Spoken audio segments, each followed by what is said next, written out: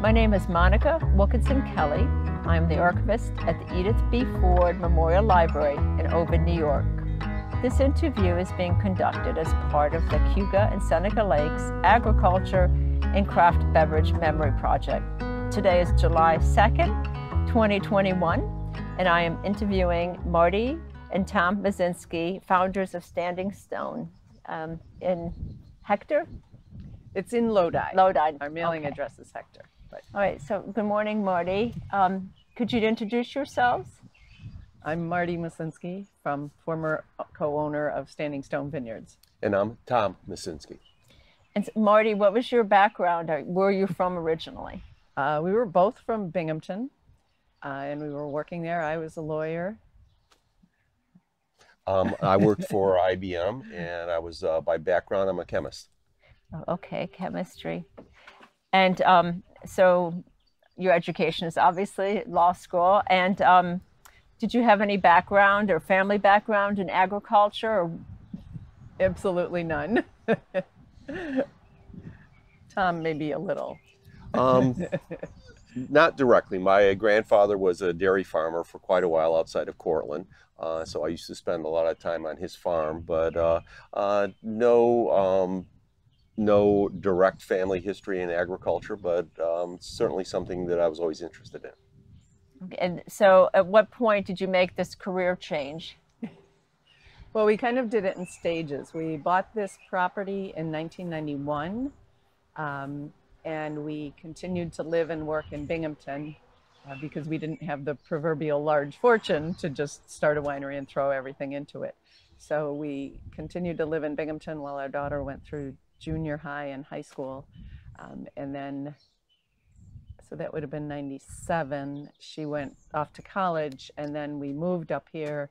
Tom continued to commute back to IBM in various places. I'll let you describe that. Um, the uh, as Marti said, uh, we stayed in Binghamton for a while. I actually uh, uh, stayed at IBM until 2006, um, at which point I retired with 32 some years there. Um, and uh, when Marti said commuted back, it wasn't just to Binghamton, Endicott area. Um, I actually did a lot of traveling and spent a lot of time in Asia, which is probably one of the reasons why you see bonsai trees around us here now. Uh, but uh, um, and then when I left o- in 06, um, we were both full time here, and essentially um, Marti kind of ran winemaking and sales, and I ran vineyards and production. So So when did you buy the property? We bought the property in 91, and then it was just about 10 years later, we decided that one of us really needed to be here. It was big enough, growing enough. we had enough We money needed- into it. we had enough money into it. We had to watch out. So I sort of retired from practicing law because it was just too hard to do both things at once um, and became the on site manager. Uh, and then, like Tom said, six years later, I said, we both need to be here or it's not going to work. And how many acres are here on the vineyard? The, the property itself is 125 acres, and when we bought it in two pieces, we had just about 20 acres of vineyards. And when we sold it in June of 17, we had 50 acres of vineyards. And how many, um, what types of grapes or, did you plant initially? Um, well, the uh, this is actually the oldest vinifera um, commercial site on Seneca Lake. It was planted by uh, Gold Seal back when they were um, in existence and were probably considered um, preeminent New York State winery at that time frame. Um, but they um, started planting in 71, 72. 71 72 time Right. frame and they planted uh, Riesling, Chardonnay, which are the vineyards to the uh, west there, and then they planted Vidal on the other side of the road. And the story is that um, before choosing this site, Gold Seal had decided to experiment with vinifera grapes. Um, and they didn't want to fail. They were a big company. They just couldn't, you know, sort of make it happen. So they supposedly had 100 test sites on three lakes, Cayuga, Cayuga, and Seneca.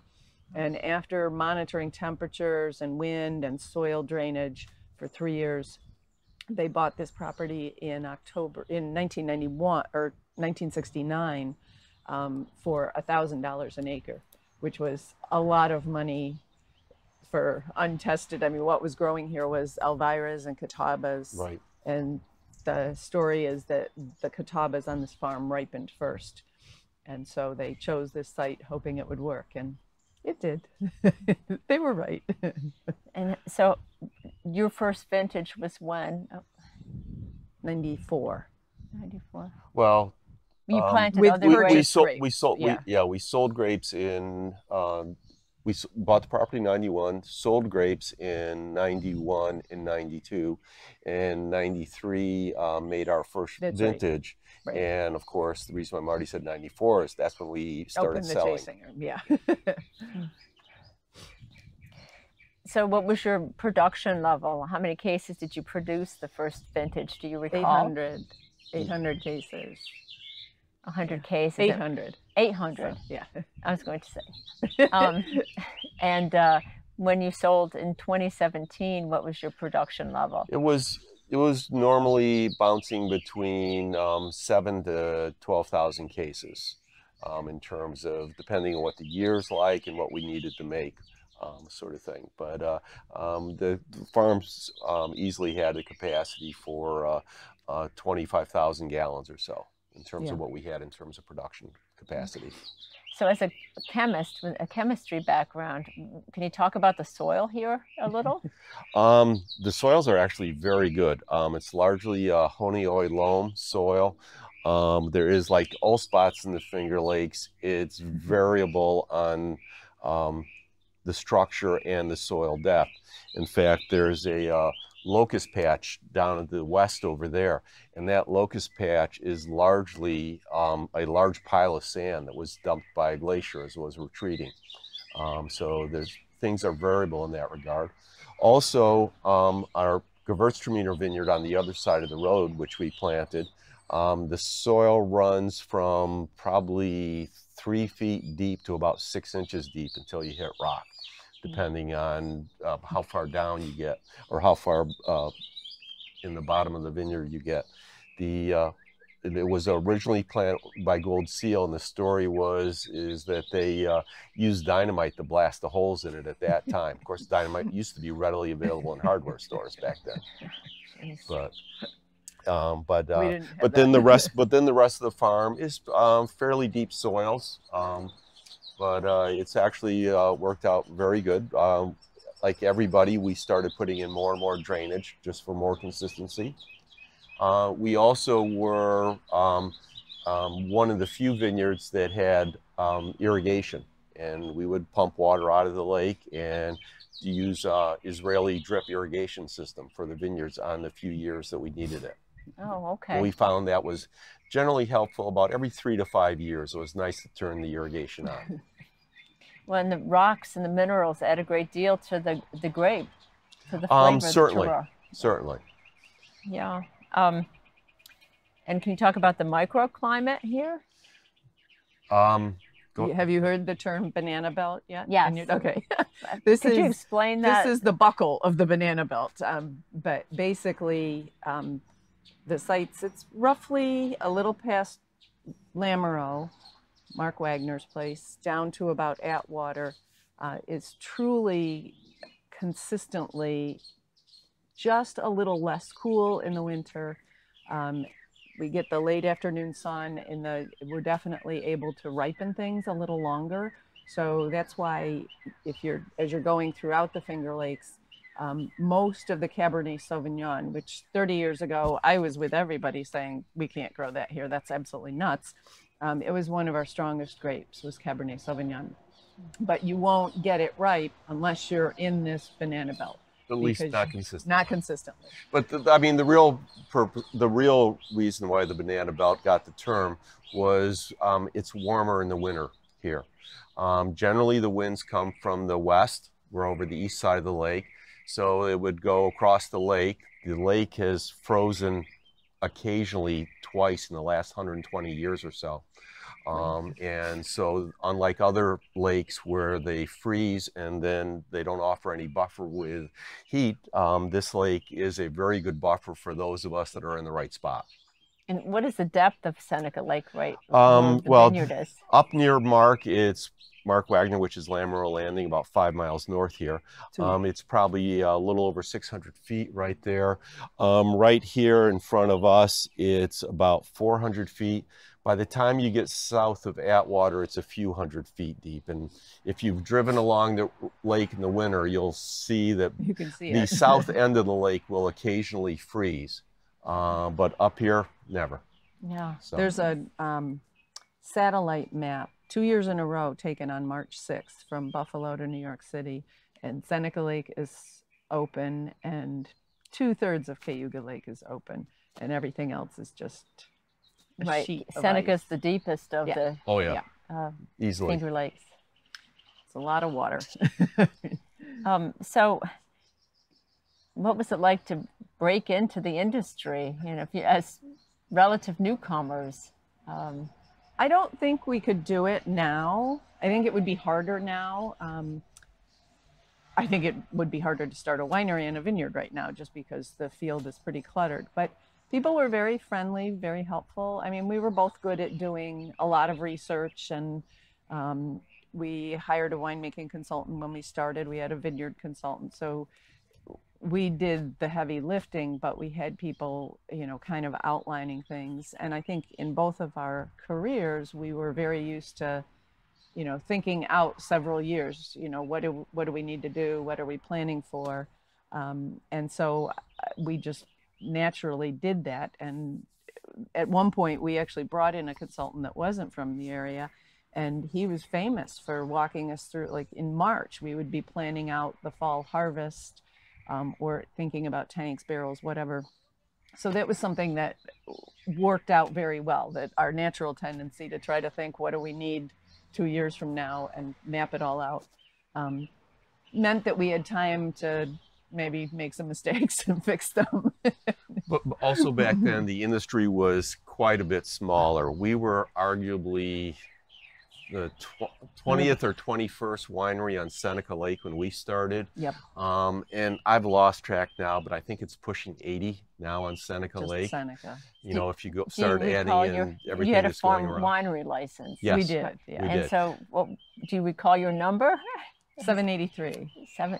That's the bonded winery, 783, the, the federal number. I don't I don't remember a number associated with New York, um, but we were Yeah, you the know, and farm when you figure license. that was so that was bonded winery 783 with BATF, and what they passed 10,000 wineries before we sold the winery.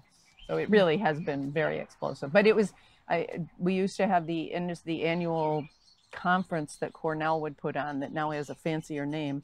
Used to be over in Keuka Keuka College. College, and in the chapel. I think we out the industry outgrew that maybe five years in. But at that time, you you could go to every winery and you knew everybody. You knew vineyard, winery, tasting room people. Yeah. Now we see people who are like, hmm, "Who's that?" So, um, do, were there a lot of incentives that New York helped the None. industry? no, nothing at that time. Um, Well, they did pass the Farm Winery Farm- Act, of course, Yeah. course. But that being said, um, and it the hurdles weren't brutal to get over to get a winery license, um, but they were certainly more difficult than they've become over time because they've kept making it um, easier for everybody to get in, which is all in all a really good thing. right. I mean, now everybody's so used to the governor's one-stop shop with Sam Filler and his cast of minions that help everybody, and that didn't exist at the time. Right. Um, so, in the period that you owned, uh, what, 91, 20, how many years? 26 years. 26 years. Um, did you see a lot of technology changes that helped and Yes. improved? Yeah. Yeah, I mean, obviously, obviously the equipment just kept getting better and better, both um, from a vineyard viewpoint and from a winemaking viewpoint. Um, but I think also the big contributor to suc- success, for, um, for I think right up to the current time, but especially you know in the early days before when there weren't that many wineries in the Finger Lakes and totally was Cornell and Cornell Cooperative Extension. Oh. um, I mean, between the support that they gave in terms of winemaking and research and vineyards, um, they really helped the uh, the transition from getting away from um, the native grapes um, to better and better quality grapes uh, across the Finger Lakes. So they were, I think they were one of the big contributors to why this area has been successful. Yeah, people have said that, you know, who had no background whatsoever, just starting out, that they were able to bring grapes to be tested oh, and oh, yeah. uh, had seminars. And oh, if it wasn't always. for the Geneva was always the Geneva Experiment Station. Right. Now it's right. Cornell Agritech. Right. Right. I remember but that. it's still generally referred to as the station. The you station. don't even have to yeah. say yeah. ag station. You say the station. Geneva Station. But yes, and then I think when we moved from Keuka College, then it moved to Jordan Hall, which seemed huge. And then it's been outgrown from that for probably 15 years. It really is yeah. pretty so impressive. So where now they're holding it, um, well, um, pre-COVID anyways, um, they would hold it at the RIT um, um, conference center up near um, U of R. Up near West Henrietta. Yeah. yeah. Because it's grown so. Um, so the startup investment must have been pretty tremendous. Uh, it seemed to us at the time that it was. That's why we kept our day jobs. but yeah, yeah. But, but it's. We... I mean, the the average. I mean, in general, the average winery expects to lose money for the first five to seven years. Um, everybody thinks they can beat that average. We certainly thought we could. Um, we didn't. Um, no. but in any case, so it really. I mean, if you really look at it from, if you start planting grapes you've got five years from when you planted it to when you've got your first full crop off of it. Then you've got another five years before the grapes really settle in and you know what they're going to be like on a consistent basis. Um, so it's mm-hmm. a long-term cash flow, and it's just, I mean, equipment's equipment's not cheap um, by any means. So it's it's it consumes a lot of cash. and what was the greatest stressor? Uh the unknowns, I suppose. The climate. Do you, did you notice the weather? The climate? Yeah, I think the. I mean, you can manage it, but you know, knowing that the weather is a risk is is stressful. And, and one of the ways we managed it, for instance, you've probably heard about the Great Freeze of the winter of 2004, um, when everybody lost a lot of vinifera, um, and we got government, not crop insurance because at that time it was uh, tree couldn't insurance. get it. So it was tree insurance. The government did that, but then required us all to get crop insurance, which can become frighteningly expensive.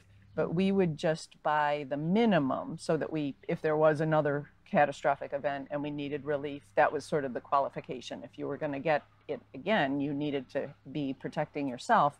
But we also learned frequently to make maybe some percentage more of wine than we thought we needed for the following year, kind of make a year and a half supply.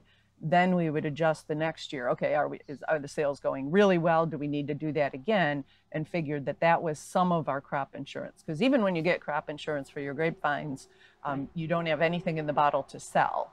And that was for us had been one of the biggest difficulties of that event was we had just sort of been reducing inventory to sort of rethink which varieties were working best. So we didn't have a lot in the warehouse to work off of. So that became our best way of planning for catastrophe. Yeah, which fortunately we didn't have one again. yeah, were you affected by the flooding? What was it, three years ago, or you had? We we had sold, um, and I don't think these. The there were some the vineyards. issues. The vineyards were not affected negatively at that time frame.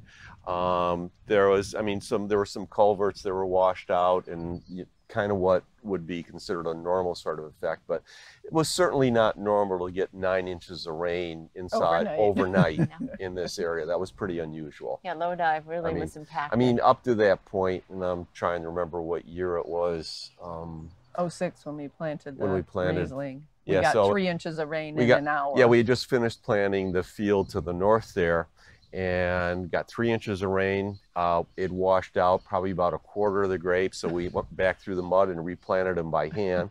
They were And- laser planted, which was so, know, so- I don't think we did as good a job. But yes, but in general, the weather's been fairly stable around here. Um, we've also been generally fortunate that we've never had a significant hailstorm, and I can certainly think of other areas that have had hailstorms really just um, decimate vineyards. Right, just a little bit up the road last Yep. year. Yeah. They lost half their crop Yep. Right. Yep. from uh, yeah, just a we we had hail, but never. It, at most, it thinned some grapes that we were going to thin anyway. So it, we were very fortunate on that. Um, So how many tons of grapes were you harvesting? Yeah. Um, we would generally run um, between 140 to a little over 200 tons um, for a normal harvest. Uh, we also we sold a lot of grapes um, to various other wineries, and um, and that was I mean one of the nice things about um, selling grapes is with grapes if you're selling the grapes in October you're probably you you will be paid before January. Um, and whereas if you're making wine, you're spending, you're harvesting the grapes in October, and then if you're lucky, you're selling some of it in May of next year, but you're probably not even starting to sell it till October. So Right. it's a year later. So it's um, and it so- helps with cash flow. Yeah. So you had a bottling uh, works here. No, bottled we here? actually well, we years ago we had Early on, our we did. first bottling line we had bought from Rolling Vineyards, so it was ancient when they had it and more ancient when we got it. And so we actually talked um, Peter Otterson. I don't know if you've run into him yet. No. Um, into putting the first mobile bottling ro- line into effect in the Finger Lakes. Wow. And at that time, everybody thought that was a crazy idea. They were, you know, how are you going to schedule it? Nobody, we didn't have that door hooked No. open. You know, how are you going to schedule it? Um, everybody's going to be fighting for the same dates. And it was like, no, I think, you know, you look at other regions and people don't have their own bottling set up if they Right. can get away with it and you have a good one available. So he did, a, he did a great job. And we basically committed that if he would put in the bottling line, we would do all our bottling with him for five years. So that gave him enough to make a business plan. Um, Right. And he ended up, I don't know, moving. He's he actually upgraded Yeah. after 10 years, did a really nice upgrade, sold the other one, which is still in use. Um, so there's so that was a great idea that we started. So he would bring bring it here. bring the production to you. Yes. And you would transport. And Yep. Right. you well, we would process it? have the he would pr- pretty much back up to our tanks, and then we would run our wine through his line and fill our bottles and stuff.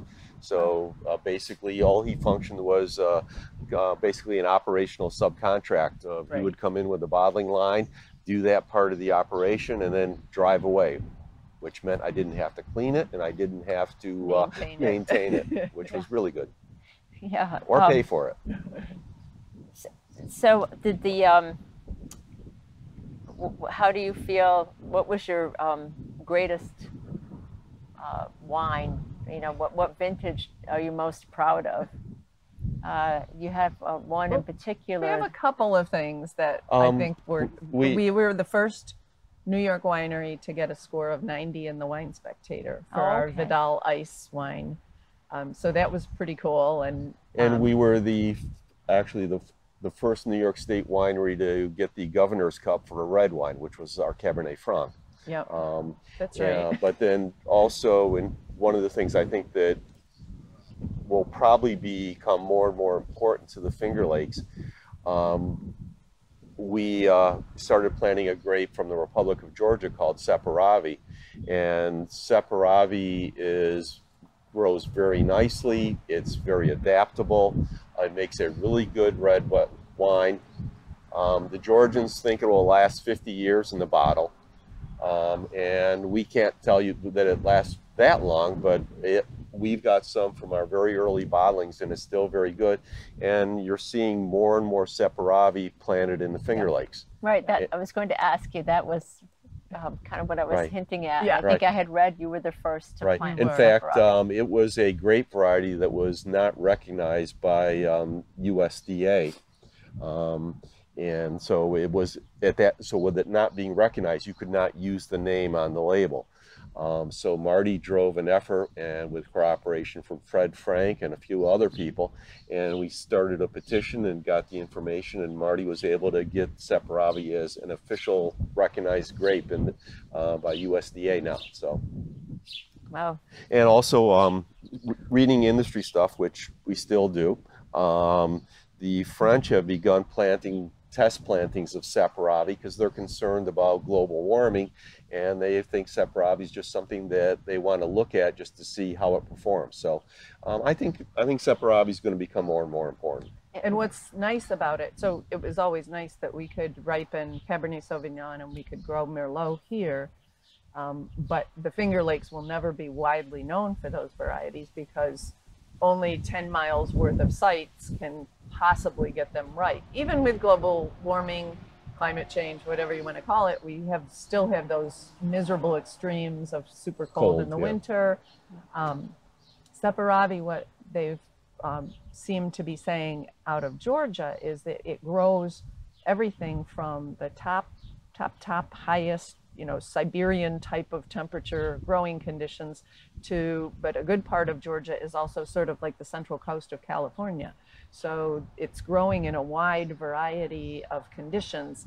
And it seems from, especially as Cornell has been studying it, it's as resilient to the cold, to the weather, it shakes off rain, um, similar to Riesling. So you think about, I mean, Riesling Right. certainly is the signature grape of the Finger Lakes, not just because it, it because it grows well everywhere and even in what are known as the crappy years. If you hear somebody talking about, oh, 2000, 2003, 2006, 2009, it never got over 80 degrees, it rained all the time, it was miserable, the wines are going to be awful. Why winemakers ever talk like that, I don't know. but you'd hear that, and, and then it would turn out that those were the years you'd drink a 10 year old 2000 Riesling, you'd be like, this is amazing, and it's going to last another 20 years. So if Saperavi proves to be the red Riesling, that will be a nice thing for a Right. lot of what, people. What's the year? What, which? Um, when did you plant them? I, well, 1994, Right. when we planted Pinot Noir, we planted two rows, about what, Um, 75 bu- vines? Um, about 100, 120 vines was all. And we grew those for a few years just to see what it would do. Um, and then we did blend trials with other things. And we also just, we started, there wasn't much available. So we would take uh, cuttings from our vines, uh, take them to um, a nurseryman and let him root them for us. And then we'd buy them back. So we just kind of kept planting more and more. And right now, um, we ended up with about seven acres in the ground that we had put in. And we had a researcher from Cornell, he was actually Australian. He was on a, a um, I'll say sabbatical um, up here uh, to see how we're doing things in New York State and at Cornell. And he knew Saperavi from Australia, but he had it but he also knew that uh, he had told us anyways that uh, we probably had the biggest single planting outside of the republic of georgia at that time frame Wow. because he knew how much they had in australia and even though seven acres isn't much they didn't even have that much in the ground And But- we actually had a funny story um, before we sold, probably five years, so maybe 2012, 2013. Um, we there was a big Georgian delegation that came to the U.S. promoting Georgian wines um, because they used to sell a lot of their wines to Russia or Russians, and that with everything going on there, that was going away. So they came to the U.S. They were doing this sort of dog and pony show across the country, and one of the guys that worked for us in the tasting room was going to be in DC at the same time anyway. So I said, why don't you go? You'll taste some good wines, bring back some information. So he started tasting around, and somebody asked who he was, and he said, I'm from Standing Stone Vineyards. We make Sap- Saperavi. And they said, Oh, yes, we know that. so that was kind of funny. Was that challenging? You know, because the Finger Lakes is so known for the Riesling. Trying to get people to taste reds was early on when you were planting. we you know we we didn't have that much of them and it would all sell in the tasting room so i think one of the things we did right early on when we were trying to sell wine wholesale to restaurants in new york especially in new york city is we just took what they would accept. So we took our Rieslings and we were able to talk about how good they were and how much variety. They're from dry to very sweet. And we could just stay focused on that. And eventually they'd ask, well, do you make anything else? Well, yeah, but it, that's just for the tasting room. And they would taste them and you, you kind of had to let them pull it out of you. If you really went down and said, you know, I'm here with a Cabernet and you better believe this is good, you were not going to get anywhere at Yeah. all. Because I think people just assume, you know, Finger Lakes is so known for the Riesling. Right. That, that's what they expected to drink and not willing to try. I and that's think. changing. I think Right. uh, for a few years, the Wine and Grape Foundation, they had always done these sort of marketing efforts into New York City, and they hired this firm that really had a great approach. And the, the gal that was running the events would call all the wineries beforehand and say, I know you have a great this, that, and the other, but we want to project one consistent image of a certain quality. Let's just all bring our Rieslings and only talk about that. And they really did a good job of managing it. And sure enough, within three or four years, at those same tastings, you would have people asking to try everything but Riesling. And so even hybrids, even native grapes. So I think that that was a smart approach um, to sort of say, this is what we do really well, and let's just talk about that till we get our feet in the door. And it seems that some people just think of Riesling as a sweet. You know, Right, If they don't like sweet, then I'm not, you know, and Right. that's, I think, unfortunate too, Right. because it's not just sweet. So, um, I've covered that. So, um, did you feel like uh, pressure from uh, the public to change what you were doing, or you really were committed, kept being committed to? Well, we were, we always, it, you, ha- you have to set up your business model of what you want to be. Um, if you, if you want to be a really big player, um, and I mean, there are certain people around here in the Finger Lakes, like Bully Hill, that's certainly a big player in the industry, um, and they do a very good job. We did not want to be a big player. We also understood that if we were in the middle of the industry pattern, um, that was probably bigger than we wanted to be and still too big to be, or not big enough to do what needed to be done. So we always tried to be a niche player uh, pick what markets we wanted to be in, uh, pick what wines we wanted to make, and then focus on those. And that way, um, um, as an example, you know, New York City and New York State's a good market to be in, but we are also in Boston, Washington, um, and a number of other cities that, or largely places that we liked going to. So, uh, um, so we tried to play it that way more than responding to what people wanted us to do. Okay, so And we purposely, you know, Tom mentioned we sold a lot of grapes. That really um, happened about the, as he was transitioning to here full time. We made the decision that we didn't want to get bigger because we would we would have to, you know, double the operation, hire all kinds of people, buy new equipment. Um, and so that's when we started selling grapes. And that's when there were more and more new wineries. There was a huge demand for grapes. So we could keep planting things that we know work well on this farm. And there was always a place for them. You, you never had to keep a grape that we didn't want. So we could say, this is what we're going to make, and everything else is for sale. And did you have a number of winemakers assisting, assistant winemaker, or was it just uh, one Well, person? you were you were the chief winemaker, Right. Um, and then we you generally had one assistant Yep. um, that worked with you. The uh, last assistant that we had, she's now the um, one of the main winemakers at Wagner Vineyards. Uh, she left here after we sold, went up there, and uh, she's doing a great job, which we fully which we fully expected she would do. Yeah, she was great. But um, but as Marti said, you know, we tried to have for a number of years, probably stopping in early 2000 timeframe, consultants that would work with us. Um, and the last and the consultant that really did a very good job for us. Um, he was a winemaker from Long, working in Long Island, um, but he was Australian and he made wine in Australia, New Zealand, a few other places. so he Everywhere, yeah. brought a lot of experience and really good suggestions to us. Okay, so and Marti, um, I'll ask each of you both of you the same question. Um, what would you tell somebody who's considering going into uh, the wine industry today, having the experiences you've had? Um,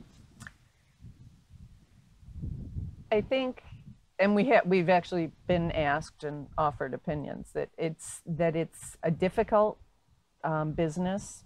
Um, it's a lot of fun, but if you're going into it expecting to make a lot of money um, or have like this steady supply of wine you want to drink, you've got to sell it if you want the money part. Um, it, you know, you really need to be clear about what you want from it, and if it's something you enjoy doing, you enjoy all the pieces, the, you know, the backbreaking vineyard work, the long nights and early mornings of harvest, um, the tasting room. If you if you enjoy talking to the people and figuring out how to manage large crowds of people who know nothing about wine, um, if if you don't find something about all of those aspects that you like, then this probably isn't what you should be doing. you know, the fact that you like to drink wine does not get you there. and people think it's you know very glamorous. Oh yeah. You know? how many hours were you spending a day? You know, say during harvest season or all of them. I mean, we didn't we didn't track our own time, but we did. Um, Jess Johnson, the assistant winemaker, for probably our last five years. Anyway. Yeah. Closer to ten. Um, we always paid overtime because I just didn't want to force people to be salaried, and it's better for tracking. And she was routinely working 70 to 90 hours a week for about six weeks. And i also so we were there. I also wouldn't say that she was working more than we were by any means no, either. no, so it's just it's you know harvest is what a harvest is. It's just flat out until when it's from when it starts to when it's done. In and fact, that's just Tom the way it is had a cot down in the press room oh, so, that's a good story that's something didn't use it very much, but occasionally it was close to all nighters. wow. Yeah. So that that kind of diminishes the glamour vision. But but at the same time, But I think but we was- both felt that the Right. days of harvest, when you know, I would get up and I, I would put pictures up. You know, it's 4:45 in the morning, and I'm showing the moon setting, and then showing the sun rising, and um, and just I just the times I was absolutely ecstatically happy were when I was getting up at 4:45 to ride the press or the picking, you know, the picking, you know, and pick grapes. So It was great. All right. So Tom, same question. Um, very similar sort of answer. Um, I think there's a lot of opportunities to work in the industry, and I think that's very good because there's so many more wineries. Um, the, um, I think, in particular, um, a good vineyard manager position is probably a much harder skill to fill right now Okay. um, than a good winemaker. Um, but uh, so I, you know, if somebody was looking at it, I, and they like both aspects of it, I'd suggest to that person that they focus on the viticulture side of it instead of the enology side of it, um, because there's just there are more and more vineyards being planted. Um, that they they require so much management and so much la- labor. So if you're a good vineyard manager, I think that you can bring a lot to the uh, table for the company that you're working with. Mhm. So my final question is always, uh, would you do it all over again?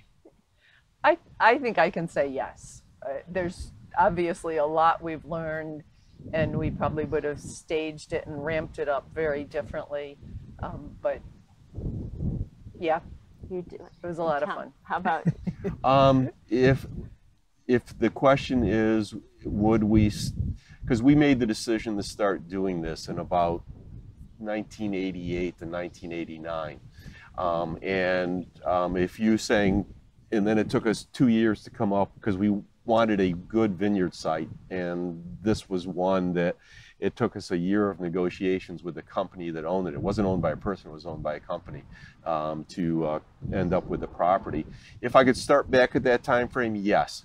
If it was to start now, um, I'd be a little more hesitant, just because um, the mark, the industry has changed so much. It's gotten so much bigger. There's so much more competition. Uh, not and when I say competition, not from the winery down the road, because everybody's very cooperative um, Yeah. in the Finger Lakes. Yeah. But I mean, from a world viewpoint, you're competing against all sorts of wines from all sorts of places. So I'd be a little more hesitant on starting right now. yeah? Well, thank you for your time. I can't, is there anything else you'd like to add? Anything we left out? I don't know. Um, I'm not sure. well, maybe it, being we're at the end and you can decide whether to edit it out or not.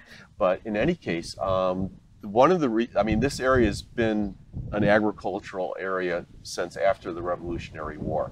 Um, the farmhouse on the other side of the road was actually the original farmhouse from the early 1800s that, that had the original military parcel that was given in this area. Um, this um, back in the 1920s and 30s, um, this was that was a peach orchard over there. That was a chicken farm. Um, and they had 40,000 chickens in that chicken farm, which is a pretty good sized chicken farm in Right. that time frame. And they moved the eggs all out by using the Lehigh Valley Railroad, which ran through the property. Um, so it's just kind of, then it evolved toward grapes. Um, and so I think just by the fact that there's been so much agriculture in this area for so long, it's kind of people that like agricultural things try to figure out how to make it work. Right, and even uh, in Romulus, you know, when Sullivan's troops came through, Right. um, they called it Appletown. Yeah. You know, and there were, you know, I've been reading their journals and their entries are Yeah. really fascinating. The the peach orchards that Peaches were there, Yeah. and um, you know, and peaches are very difficult to Mhm. grow, so they were clearly taking advantage of the microclimates that they and were able. supposedly chickens are sensitive too to weather. So that was the reason for chickens along here. All right. Well, thank you so much for your time. Again, this is uh, Marti and Tom Macinski, uh, founders of Standing Stone, and I appreciate your time and spent here. Um, my name is Monica Wilkinson Kelly of the Edith Ford Library, uh, July 2nd, 2021. Thank you for sharing your story with us. Thank you. Thank Good luck with the project. Yes. Thank you.